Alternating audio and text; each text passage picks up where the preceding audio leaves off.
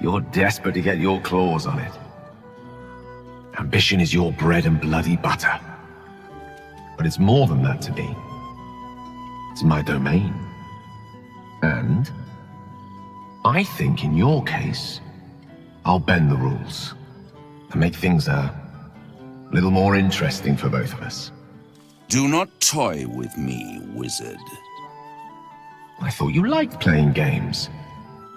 You can have the crown, Raphael. But you'll need to come and collect it from my realm. You can't do this!